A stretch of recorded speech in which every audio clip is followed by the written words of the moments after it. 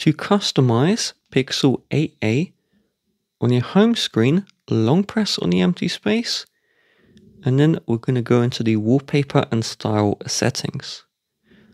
So you can tap home screen and then these buttons will change the colors of your operating system. Themed icons will set the icon color to what you set here. You can change the app grid, which is how many apps can be stored on the home screen. And if we tap more wallpapers, we can change our wallpaper. Now in the lock screen, you can swipe across to change the clock and you have more customization under the clock color and size.